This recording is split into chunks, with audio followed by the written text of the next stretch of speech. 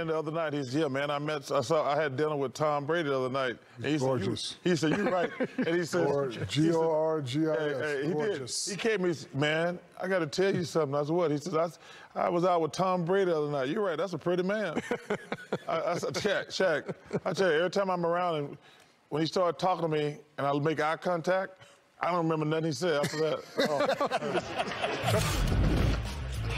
And then Tom Brady.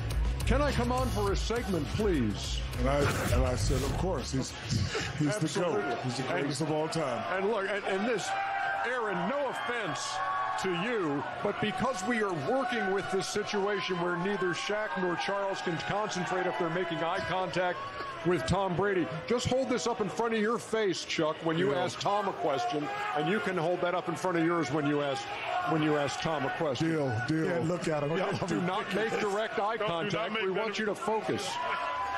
So, Wait, Kenny, Kenny. Aaron Rodgers is a good looking dude too. Y'all out of control right now. Hey, hey, he got that wilderness look working, on him. Release the ponytail, Aaron Rodgers. We are we are going to let you guys have something to say. Oh. Oh, there it is. You, you know how Chuck feels about those. Oh, oh, the man bun? Yeah. That, that's not a thing. It's not a Just thing. because you're too cheap to get a haircut, you can't make it up something. That's Uh. not a thing. Get a haircut, Aaron.